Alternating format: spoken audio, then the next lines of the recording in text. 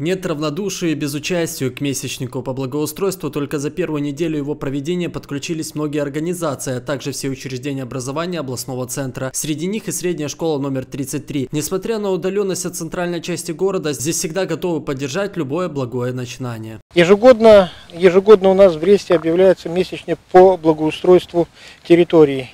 И наша школа, как и все школы Ленинского района, и все школы города Бреста, я думаю, все школы республики, присоединяются к этому месячнику. Мы проводим работы по благоустройству территории.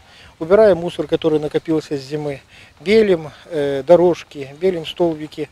Э, надо, чтобы э, весну э, встречать э, с территорией благоустроенной, красивой, потому что весна это, это, это праздник, праздник возрождения природы.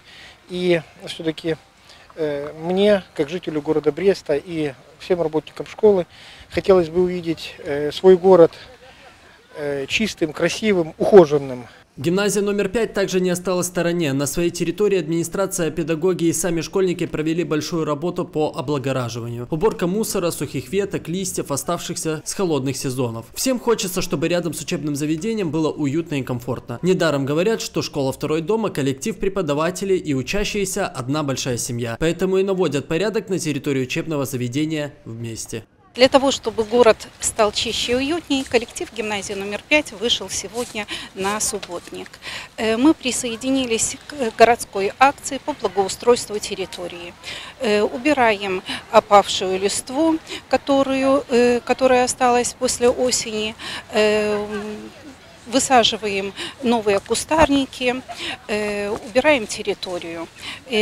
Также акции будут, э, в акции будут принимать участие и участие, учащиеся гимназии, кроме коллектива. Наведение порядка – это не только сбор мусора, опавшие листвы, благоустройства. По инициативе администрации Ленинского района и при поддержке Брестского ДЭП, кроме вышеперечисленных работ, прошла и мойка остановок общественного транспорта. Согласитесь, немногие могут похвастаться тем, что видели сами, как это происходит, однако, когда есть потребность, представители ДЭП выходят на городские улицы, тем самым обеспечивая порядок и чистоту в нашем любимом городе. Ведь наш Брест – это наш дом. И всегда хочется, чтобы в нем было уютно и комфортно. Александр Богданович, Анастасия Ноздрин-Плотницкая, Андрей Щерба, Александр Макаревич, телекомпания Бук ТВ.